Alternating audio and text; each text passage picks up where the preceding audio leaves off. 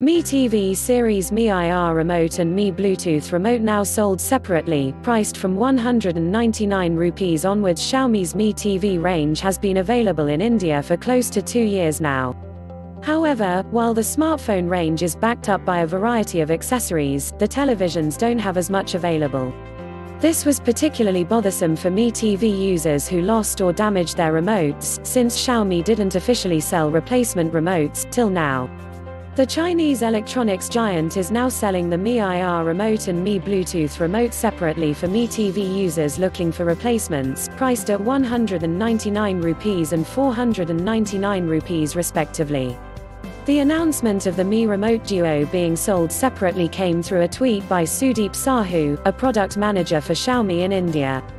The tweet suggests that Xiaomi's fans have been asking for the remotes to be made available individually, and the company has now put the 199 rupees IR remote and 499 rupees Bluetooth remote on sale. The former is better suited to Mi TV models without Bluetooth remote support, while the latter is for the higher tier models. The two remotes look similar, but the key differences are in how they function. The IR remote works like a traditional television remote, sending an infrared signal to the TV. The Bluetooth remote communicates with the TV using the more modern and capable Bluetooth signal, and is also able to send voice commands for Google Assistant on a paired TV.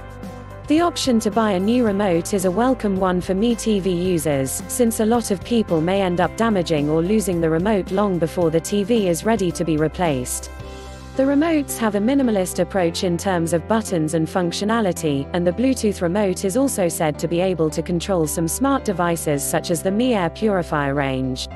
Pairing the remote with a Mi TV is a simple process, so users picking up replacement remotes can easily resume where they left off.